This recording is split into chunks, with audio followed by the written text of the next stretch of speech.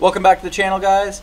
Today I'm going to teach you how to take your AEM gauges to the next level and log it via AEMnet to devices such as an AQ1, CD7, CD5, or any other device that has AEMnet on it.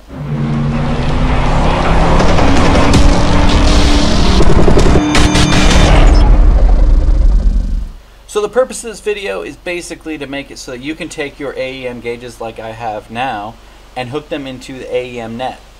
Some of the gauges don't actually have the pinouts set up on the actual connector. Although they have the ability to emit AEM net, they don't actually have the pin set up within the connector itself. So I'm going to show you how to do that and then how to connect it to AEM net so it can be then recorded via your device, like in my case, my AQ1, so you can get this all set up, all wired up, ready to go, and be logging in a heartbeat.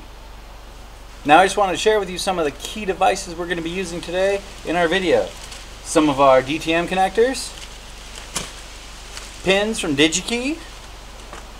This is actually a part provided by AEM, and it's the terminator for the end of the AEM net setup and the AEM adapters, which this makes it really easy just to add new devices, lickety split. One thing to notice, I left my wires relatively long for my air fuel ratio gauge because I knew I was going to come back to this and do this. Um, but basically, I have this, and this is actually already connected to AEMnet. So now I'm just going to add the other two gauges into AEMnet. So now I'm going to disconnect the gauge. So now I'm disconnecting the gauge so that I can easily actually work with it.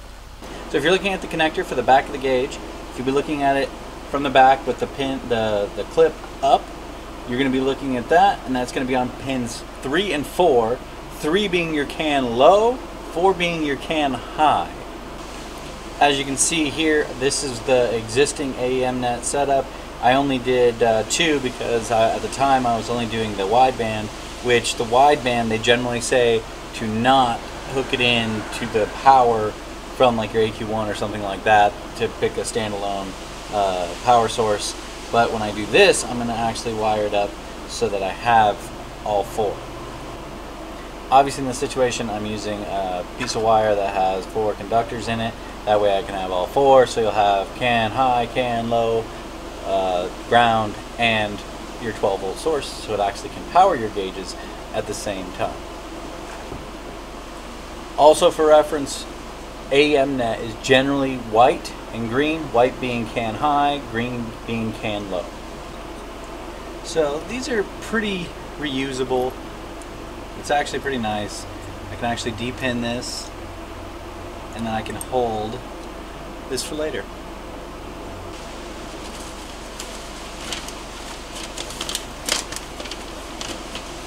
So, as a quick reference, with the connector itself, they actually send you this. So that's telling you which pins they go to what, and can high, can low, power, ground, all everything you need to know about what this guy is actually doing and how it's doing it. So now that we have our wire in place next to our gauge wiring, now we can go ahead and strip it back. We're going to put the other pin on and then we're going to push it into place within the existing wiring uh, loom. So now what we're doing is we're stripping back the wires so that we can actually connect them into the connector of the gauge. For this we're going to be using the DigiKey connectors that we ordered. They're absolutely tiny, obviously, to go in a little tiny spot. Now, you might notice that I'm not quite using the correct crimp tool for this. Um, I had it, and it appears to have gone missing. So, I'm kind of doing this the old ghetto blaster way. You just have to be very careful when you're doing this. You're actually trying to crimp one on the actual wire itself, and the other on the insulation now, if you're a professional like me, you can get this accomplished with some needle nose pliers. If you're not, I highly recommend getting the correct crimp tool and doing this correctly. one thing to make sure to do, the tug test. If you can pull it off, it's not going to stay. So get it right, make sure you can do the tug test, then you can place it. Okay, so now our new AEM net wires are routed into our existing plug that went to our existing oil pressure gauge. So now we're just going to plug our oil pressure gauge like it was before, and then we're going to come down here, and then I'm going to show you how to hook up all the extra AEM net connectors.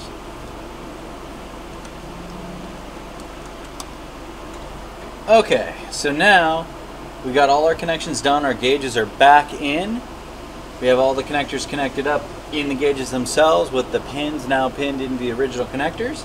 So now what we have is we have our AEM net connectors, DTM connectors here, our AEM DT connectors here, and then we have our resistor for the end.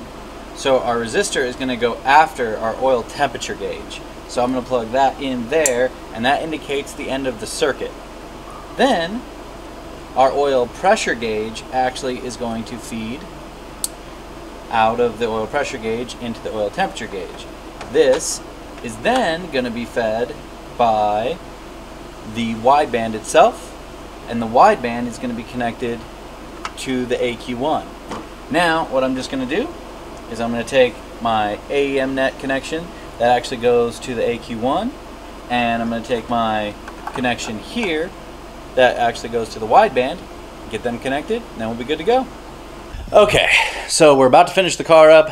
James came over to save my ass with a, a crimp tool so now we can actually crimp the DTM connector pins so now we can get this done so so now the last thing we have to do is hook up the DTM connectors from the AQ1 to our harness and then our harness to our wideband and then we'll be all hooked up. So now I'm going to read off the, the pinout here provided by AEM. Make sure that I'm doing it right because you never know when you forget and then go from there. So DTM connectors as a whole, Yeah. Very very simple obviously. So now we've crimped our wire, or we've crimped our pins or sockets Sockets. onto the wire itself, onto each individual strand. Now you're just ensuring that your pinout is correct. So I have black, red, white, and green. And if I look at my handy dandy thing over here, so pin 1 is white, pin 2 is green, pin 3 is red, pin 4 is black. So that is correct. Everything is A-OK. So now we're going to slide this into our thing here and you'll hear it all four of them snap which is a good thing in this case because now we can put that in there and then we shove this little guy into here which locks it all into place with that all locked into place now we can take this and happy-go-lucky plug this in here and now our wideband is almost connected because now I have to actually connect the wideband because that was actually the AQ1 connecting to everything else. So once we connect these four wires and those two wires, then and then only will we be done. So what we were using before is we were using these sockets here to create this connection here, this connection here, which is our AQ1 connection feeding from the AQ1 to the harness. Now these are all the Y harnesses that AEM that AEM sells that you can pick up. And basically we're just making all of these connect all these gauges in AEM net to make it kind of easier so that we can actually read everything as a whole kind of simplifies it makes it pretty easy. The DTM connector is pretty easy as a set and uh, now we're just going to get on to the male DTM connector and then we'll go from there Here's the female pin.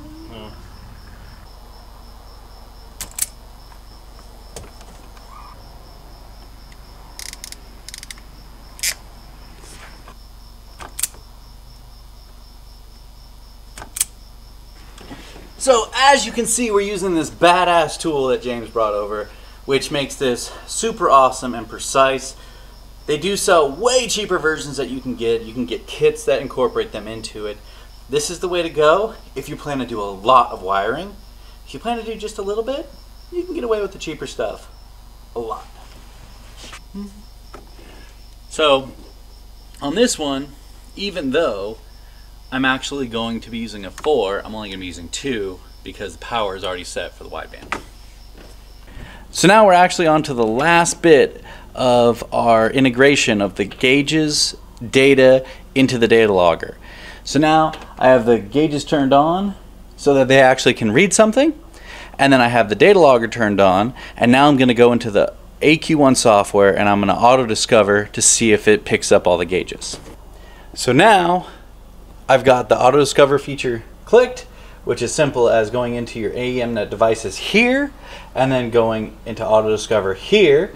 Now it says the following AEMnet the following AEM devices have been discovered, and it shows the X series AFR, the AEM water temperature gauge, and AEM oil pressure gauge. And this will now currently be automatically configured into your system. So now I'm going to go ahead and click OK there. So now with this you can see I have an oil pressure gauge, I have the water temperature, and then I have my AFR still. Um, all these are now reading with the scalars. It's in Celsius, so eventually we'll have to go in here and uh, we'll be looking at changing all these things so that they uh, read how we want to uh, in AEM data. And so there we go. Quick, pretty easy, as long as you have the right tools for the job. And now I'm able to log all these different multiple items. And still, I think I'm going to add one more thing later on, and it's going to be the RPMs out of the tach. So I'm going to add that. That's going to be done via a uh, analog channel, which will be slightly different.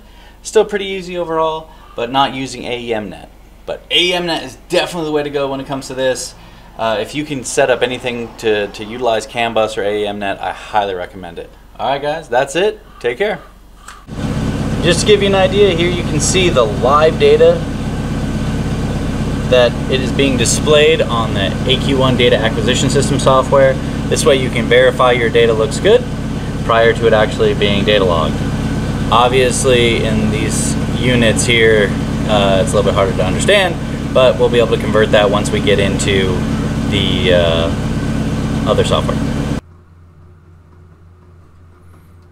Okay, so here we have the data log that I took from the track day that I did the other day at Streets of Willow.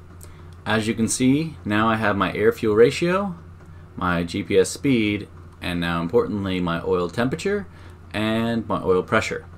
So these are the two gauges that I added recently. Obviously I also had to integrate the air-fuel ratio in with the wiring, but it was already there previously.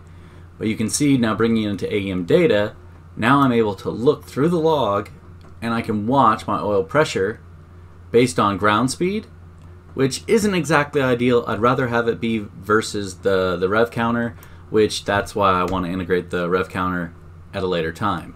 But I can also look at my oil temperatures, which is great to look over the entirety of the run. I can actually look in this session here, which was 13 minutes and 20 seconds, and the highest oil uh, oil temperature that I got to was 232, which just by the blink of my eye looking over at the gauge from around last year, I had 280 plus, but that was prior to putting a oil uh, oil cooler on the car. So one of the reasons why I wanted to do this was mainly so that I could log my oil temperatures and see if there's any um, anything else that I need to address. Another thing that would probably be ideal in this situation is also to to wire in the, the water temperatures. This was on a very hot day, guys, uh, probably around 95 degrees to 105 degrees, and my water temps were actually spiking pretty heavily on my Miata, which is indicative of a car that doesn't have a, uh, a coolant reroute. So that's going to be next on the agenda, but I'd also like to log the water temps as well, just because then we're able to actually see uh, a lot more correlations between the different temperatures and what they're doing. Overall, the data is going to help me out and let me kind of start altering my air-fuel ratio with my Aeromotive uh, fuel pressure regulator. So I'm going to start tweaking that a little bit more. As you can see here, it's still 11.5 to 1 as I climb here and you can kind of see it's tapering in the downward, adding more fuel as we go through, getting close to about 11.2. Um, I actually leaned it out just a little bit while I was at the track because the last log I looked at, it was in the 10s. So it looks like I still have a little bit more to go, and uh, maybe I can get a little bit more power up top to help me out on the long straightaways. Alright guys, that's about it.